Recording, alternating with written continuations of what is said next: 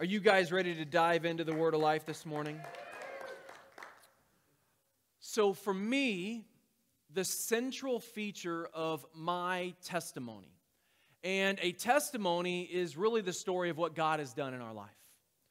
The central feature of my testimony was not about getting set free from drugs and alcohol. I've never even smoked a cigarette in my life. Um, I was pretty lame growing up, in a good way, I guess. But I was, in a Christian way, I was, I was, I was not a, a hellraiser. I was not out partying and, and doing all kinds of crazy stuff. So my testimony was really about identity because I had no idea who I was. And that loss of personal direction made me desperate to feel like I belonged.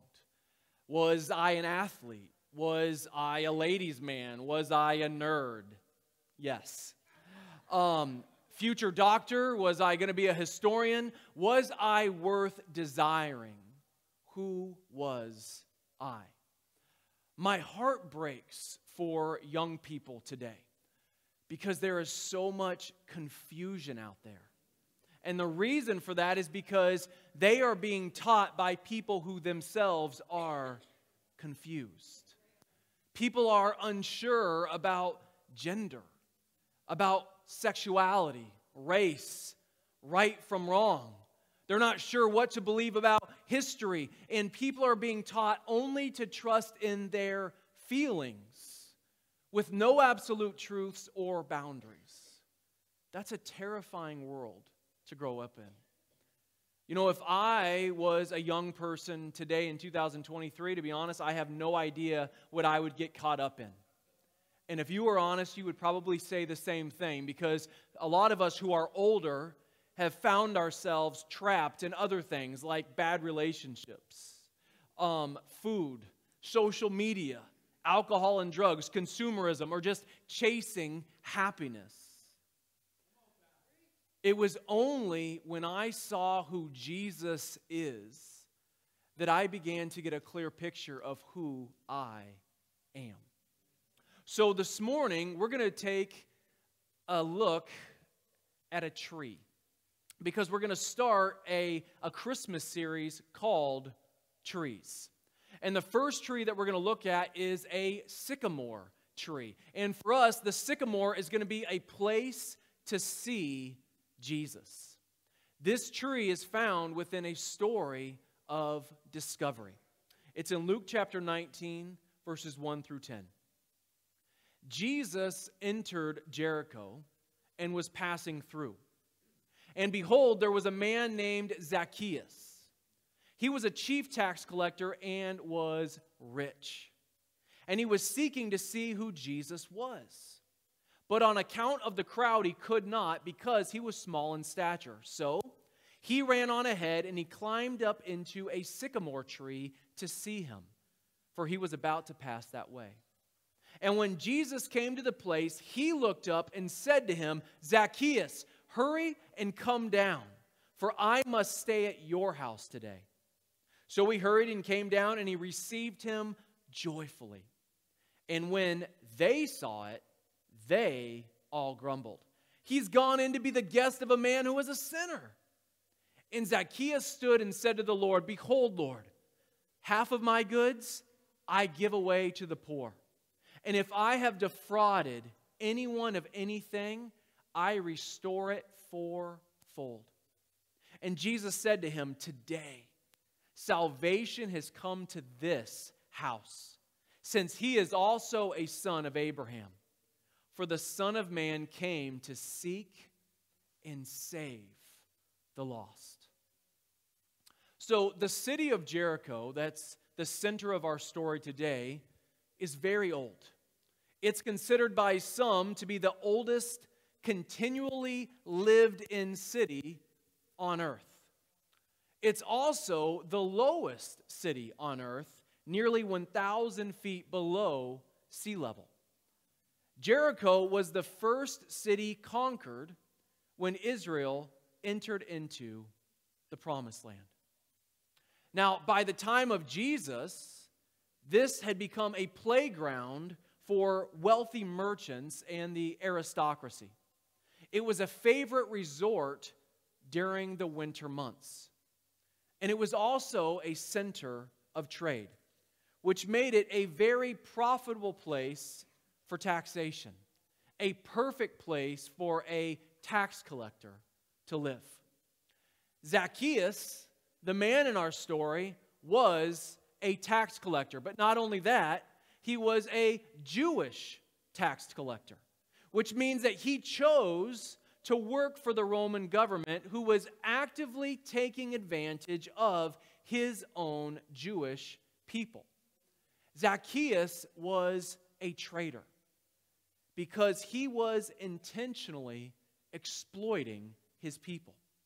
Now, tax collectors made their money by charging extra fees on top of the regular taxes. And as a chief tax collector, Zacchaeus was even further in alignment with the Romans. And he was growing extravagantly wealthy because of the continued subjugation of his people. You could not have found someone who deserved the label of sinner more than Zacchaeus because his life was built on openly defying God's word. But how many of you know that Jesus often calls us from the midst of darkness?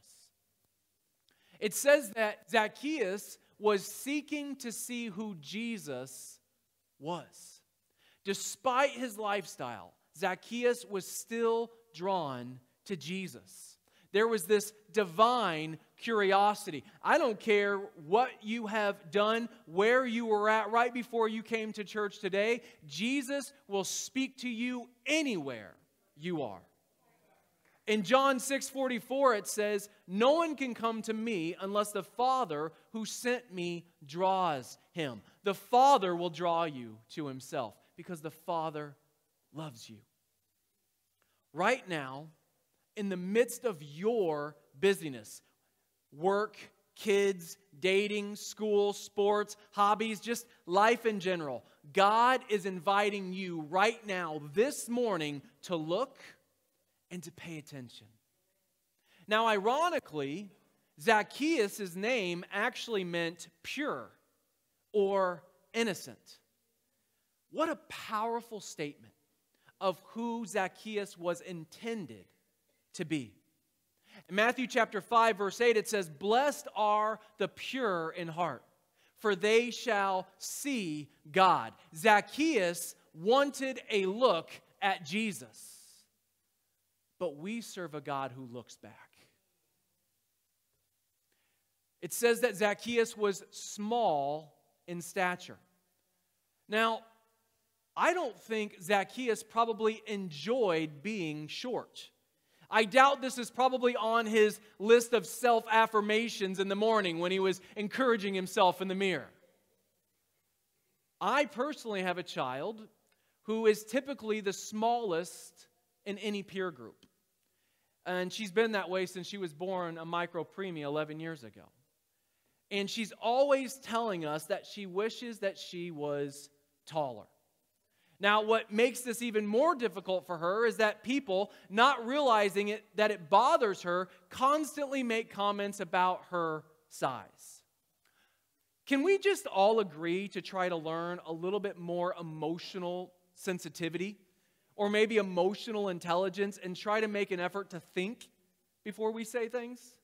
I mean, I hope you're not one of those people that would say, Wow, Tom, I think your nose has gotten bigger since the last time I saw you. Or Cindy, huh, that stomach, are you sure you're not pregnant?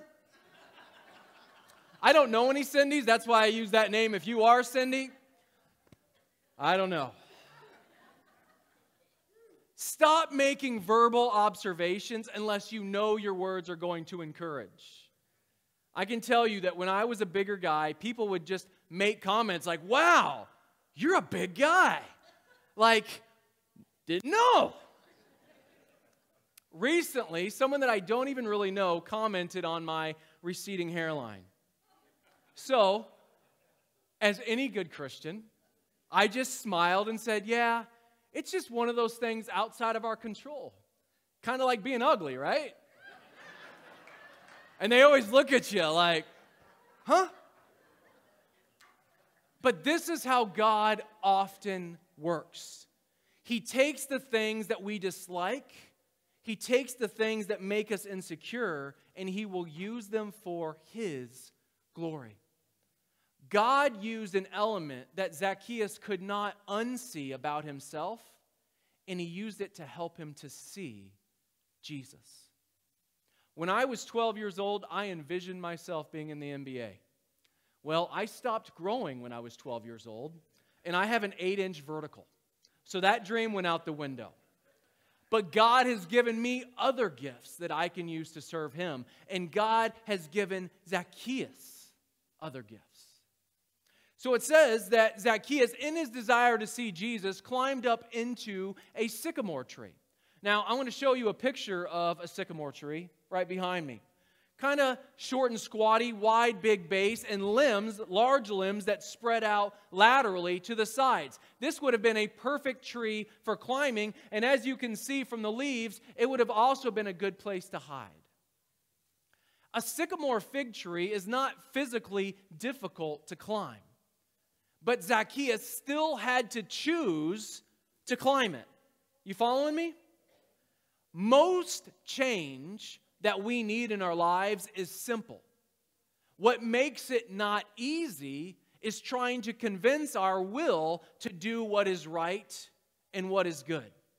Whoever you are, wherever you are, the climb to change is never going to be convenient.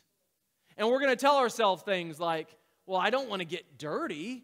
Zacchaeus was wealthy. He wasn't walking around in scrubs. He had on some nice clothes. It would have been easy for him to say, I don't want to tear my clothes. We might say, you know what, I really have somewhere else I need to be. Or maybe fear will take over and we'll think, you know what, I could fall out of that tree. Because following Jesus requires risk. Or maybe the thing that many of us are more afraid of than anything what will other people think? These are all excuses. And you know what? When the enemy gets in our heads and we begin to use excuses for reasons not to look for Jesus, those excuses are powerful and they are dangerous. In Luke chapter 14, 16 through 24, Jesus tells us what happens when we give excuses. But Jesus said to him, A man once gave a great banquet and invited many. And at the time for the banquet, he sent his servants to say to those who had been invited, Come, for everything is now ready. But they all alike began to make excuses. The first said to him, Well, I've bought a field and I must go and see it. Please have me excused. And another said, I have bought five yoke of oxen and I go to examine them. Please have me excused.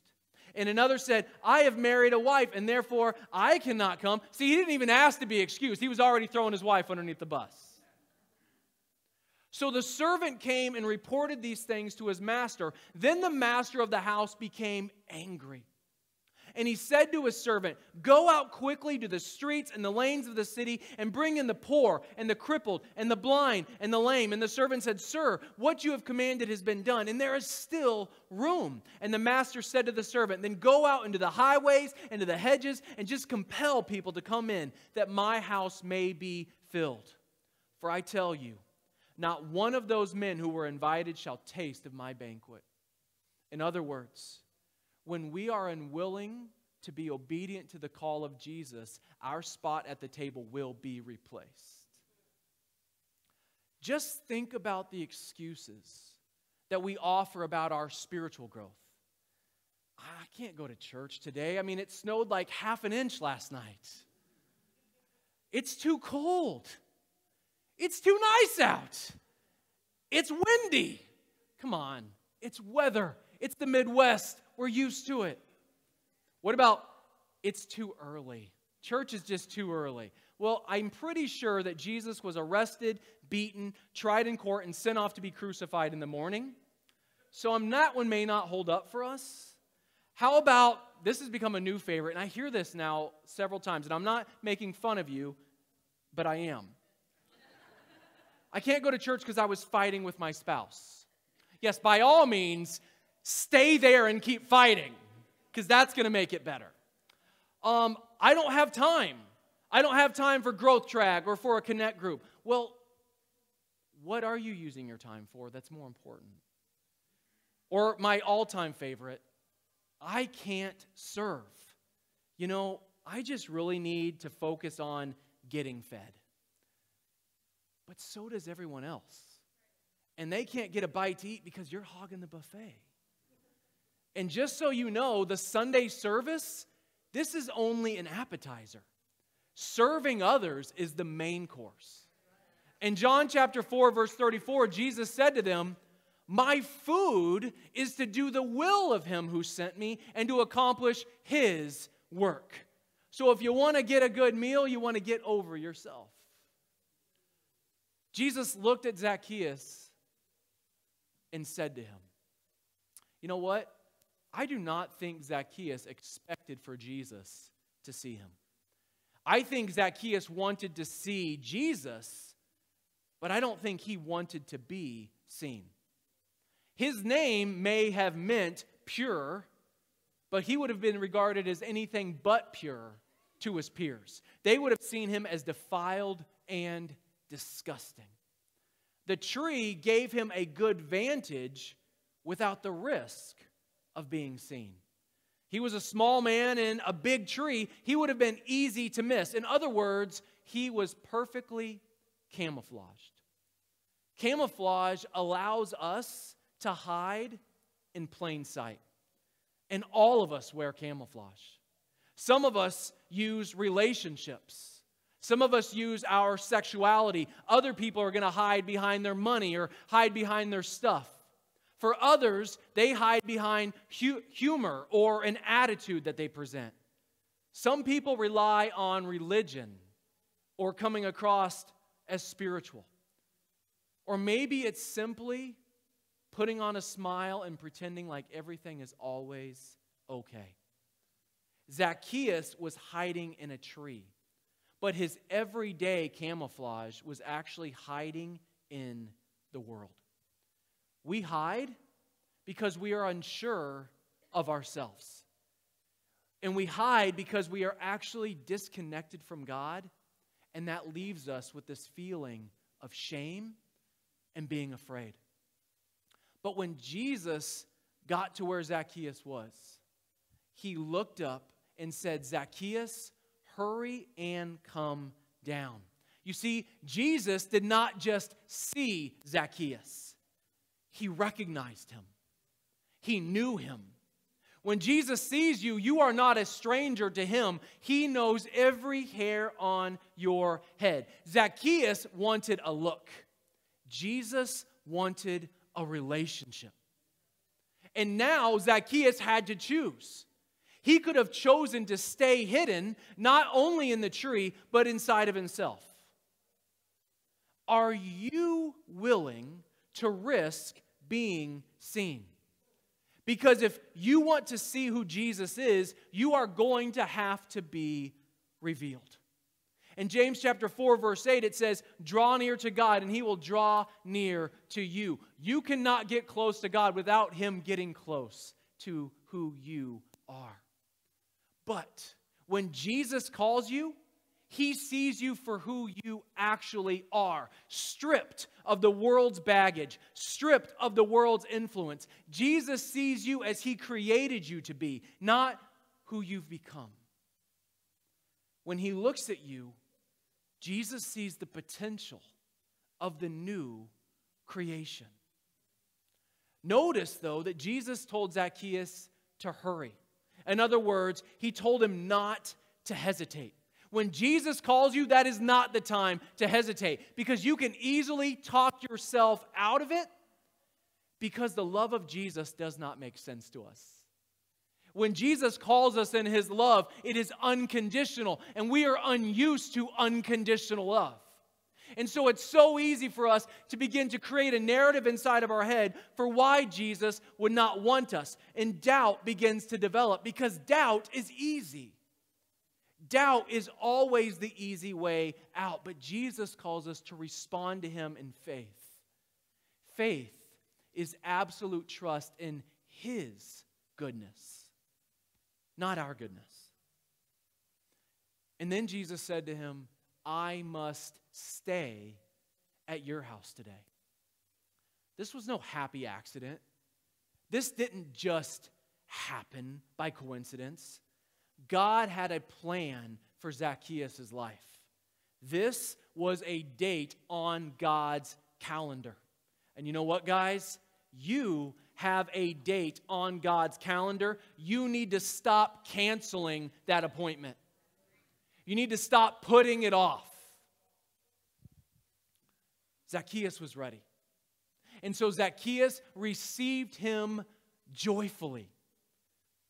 Have you ever been received by someone reluctantly? You know what I mean? So when I was growing up, I was never I was never someone that received a lot of invitations. I was always someone that would invite people to come and hang out, but I didn't necessarily get invited to hang out. Can you guys relate to that at all? And sometimes I would hear people talking about being going and doing something, so I would work up the courage to ask if I could be a part of what they were going to do. And then there'd be that awkward pause. You know the one I'm talking about, where they are inwardly seeking any excuse possible to tell you why you shouldn't come along.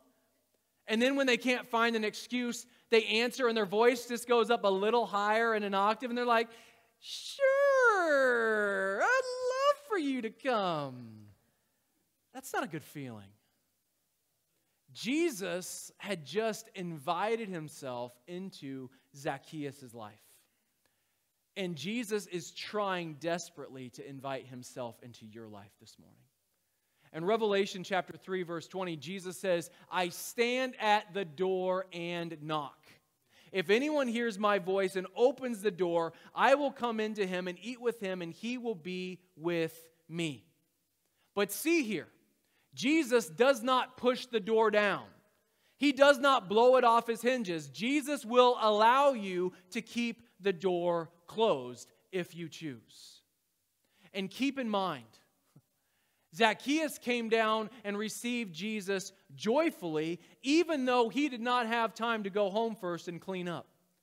He didn't get to go and make that mad dash to straighten things up and put away anything that might be embarrassing or incriminating. How many of you guys love when company shows up unexpected?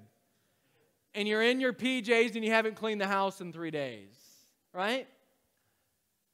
But Zacchaeus was able to receive Jesus joyfully because Jesus already knew everything Zacchaeus had done. But that did not define who Zacchaeus was to Jesus. Zacchaeus received him joyfully because Jesus received him unconditionally through his faith. And this freed Jesus to finally become the man Jesus had created him to be.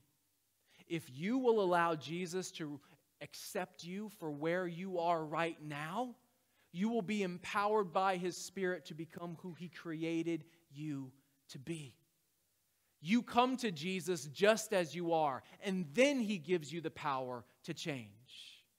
But people only receive Jesus joyfully when they are ready to change. If you're not ready to change and Jesus comes up in the conversation, you're going to feel anxious. You're going to feel intimidated. You might get offended. You will experience feelings of anger or fear or bitterness, and all kinds of justifications will come to your mind of why you shouldn't go to church or why you shouldn't pray or why you haven't been reading your Bible if you're not ready for change. But if you're not ready for change, this morning is the time to be honest, first with yourself and second with Jesus, that you want to be ready to change. Those who saw this happening said that Jesus had gone in to be the guest of a sinner. You know what Jesus' answer to that was? Yep. Having lunch with Zacchaeus was a big deal because Jesus was identifying with him. In their culture, when you shared a meal, that person was immediately considered to be part of your circle. Jesus was giving Zacchaeus validity, not as a tax collector, but as a person. And some of us need to get over who we've been and allow Jesus to receive us because he's receiving you, not your past. So, in the midst of this, change begins to occur within Zacchaeus' heart. And he makes a statement in front of all of his guests. And by the way, Zacchaeus is very, very rich.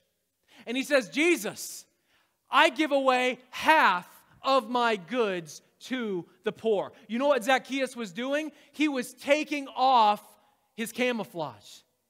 Zacchaeus was getting rid of the things that he had been using to hide behind up to this point in his life. And he was saying, I don't need this stuff anymore because this is not who I am. I now know who I am. And then he took it a step further. And he said, Not only do I give away half of what I have, if I have stolen from any of you, I'm now going to restore it fourfold. Before Jesus came into his life, Zacchaeus openly, continuously broke the law. But when Jesus came into his life, he was now able to live it out. This is what repentance looks like acknowledging our sin and making a change.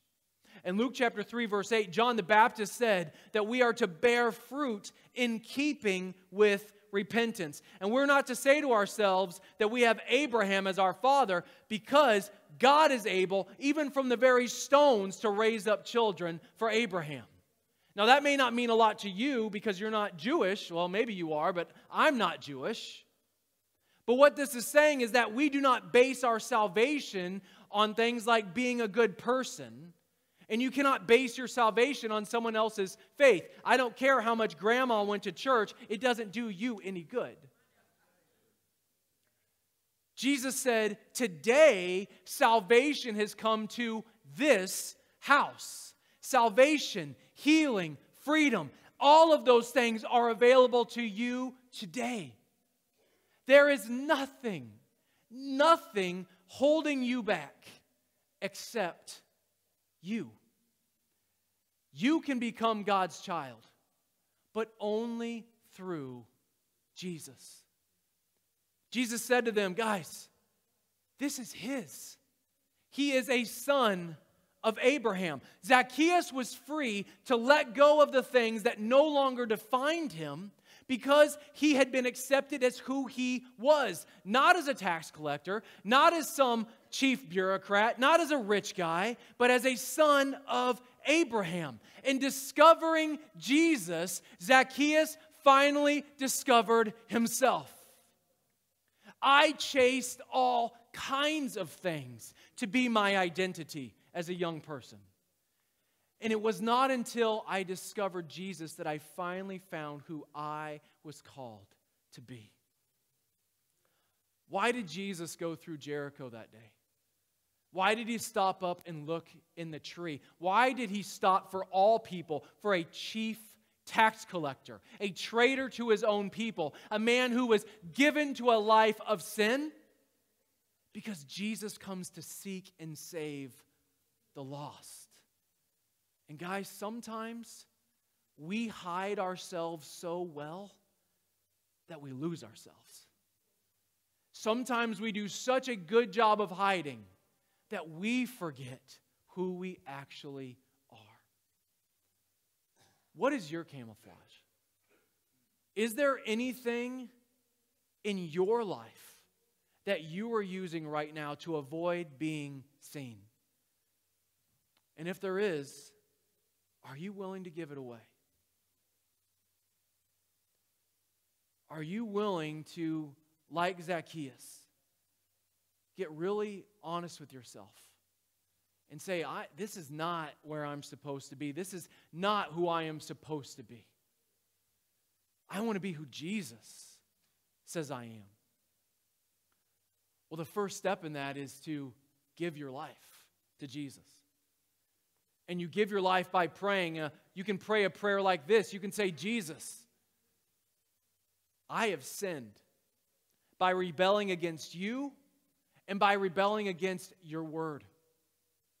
Please forgive me and wash me clean in your blood. I believe, Jesus, that you lived a perfect life, that you died on the cross for my sins, and that you have been resurrected from the day from the dead, and I believe that someday you are going to return in your glory. Anybody in here believe that? Here's the big part.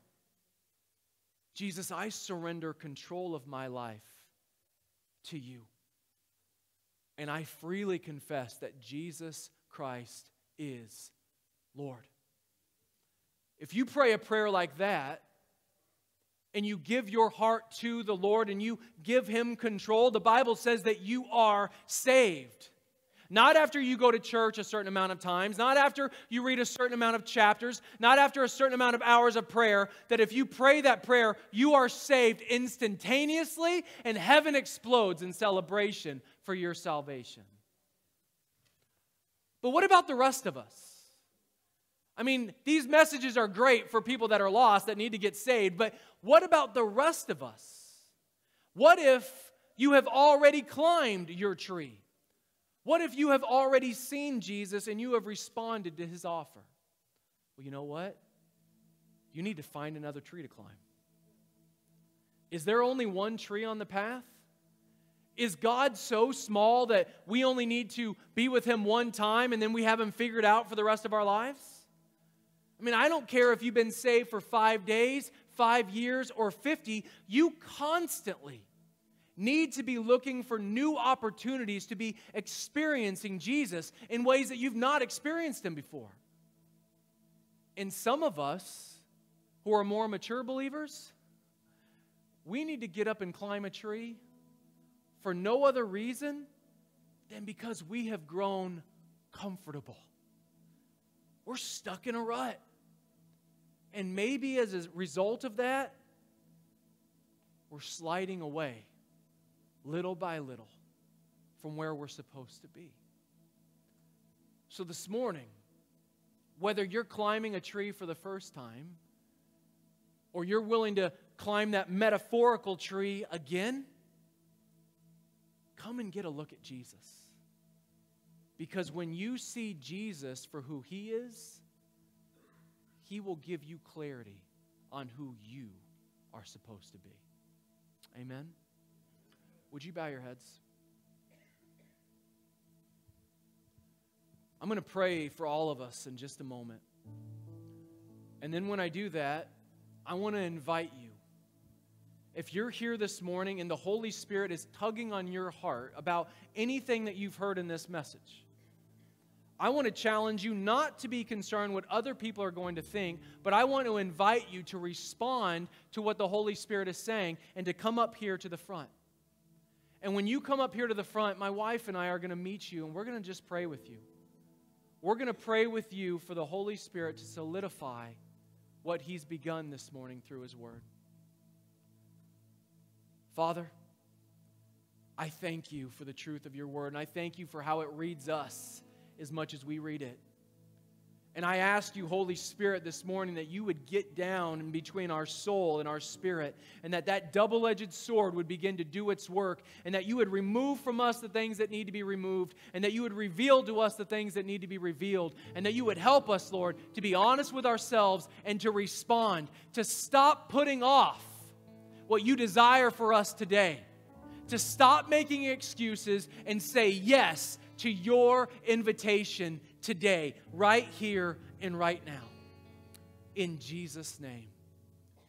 Church, would you stand with me for worship? I invite you to come and to respond.